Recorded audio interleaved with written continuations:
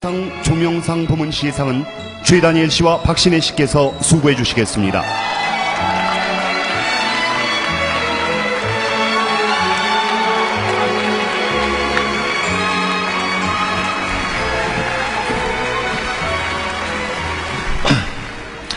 네, 안녕하세요. 최다니엘입니다. 반갑습니다. 네, 안녕하세요. 박신혜입니다.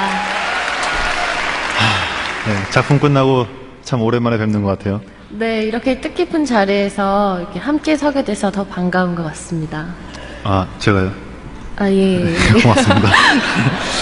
예, 이제 이번에 시상할 부분은 이제 그 촬영상인데요. 그 카메라 감독님들은 사실 그 촬영장에서 되게 어렵고 되게 힘든 분들인 것 같아요. 안 그래요? 네, 배우의 표정 하나하나 미세한 감정들을 가장 가까이서 보시는 분들이시잖아요. 그러다 보니까 제 속을 훤히 이렇게 꿰뚫고 계시는 그런 느낌이 받아, 느낌을 받아요. 그래서 이분들 앞에서는 항상 긴장하게 되는 것 같습니다. 네, 아, 박신혜 씨 되게 대본을 되게 잘 외우셨네요. 네, 저, 네, 제가 생각할 때는 그, 그, 이 현장에서 어떤 배우들의 그런 연기를 제일 처음으로 목격하는 그런, 어, 처음의 관객인 것 같고요. 그래서 그런 만큼 되게 처음으로 제일 가까이서 우리 배우들을 되게 살펴주시고 하시는 그런 분인 것 같아요. 그래서 이제 그 상을 이제 시상하려고 하는데요. 먼저 후보들을 먼저 만나보겠습니다. 볼까요?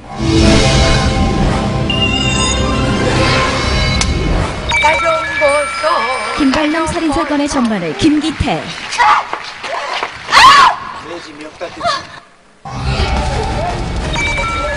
아저씨의 이태윤.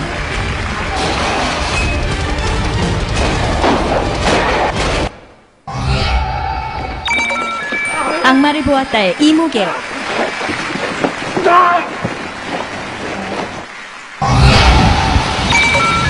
전우치의 최영환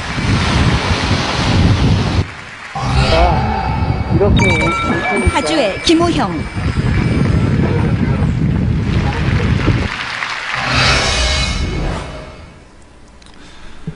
아, 예, 이렇게 다섯 분의 그 후보분들을 보셨는데요. 자, 이제 발표해 주시죠.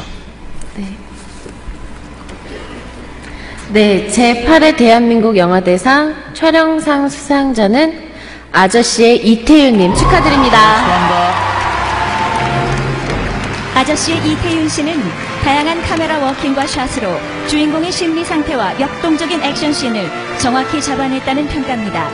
이태윤 씨의 개인적인 사정으로 아저씨의 이정범 감독이 대리 수상하겠습니다.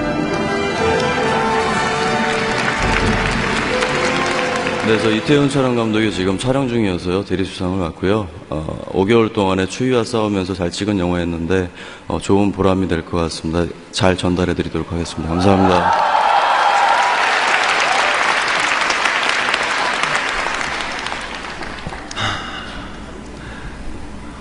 예. 예, 계속해서 시상할 부분은 이제 조명상입니다.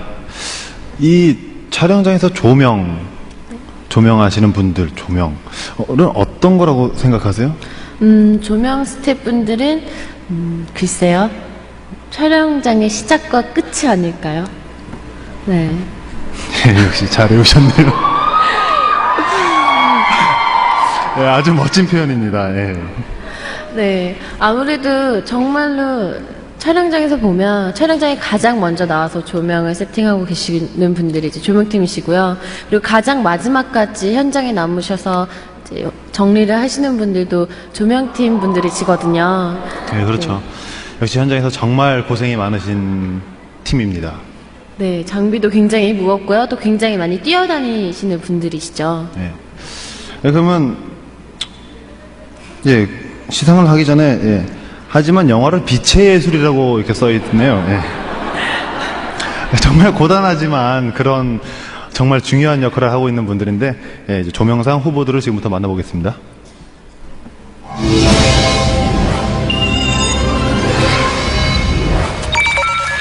김봉남 살인 사건의 전말의 남진아,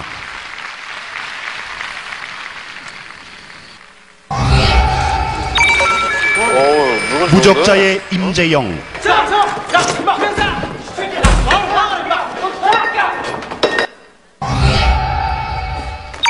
떠나갔습니다. 아저씨의 이철호 아저씨도 제가 창피하죠.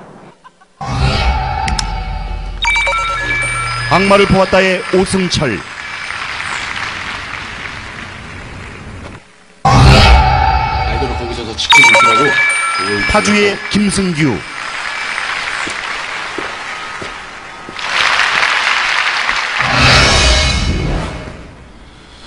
예, 제8회 대한민국 영화대상 조명상 수상자는 네, 아저씨 이철호님 축하드립니다. 축하합니다. 아저씨 이철호 씨는 철저히 계산된 조명을 통해 어둡고 콘트라스트가 강한 빛을 설계해 어둡지만 디테일이 살아있는 장면을 만들어냈다는 평가입니다.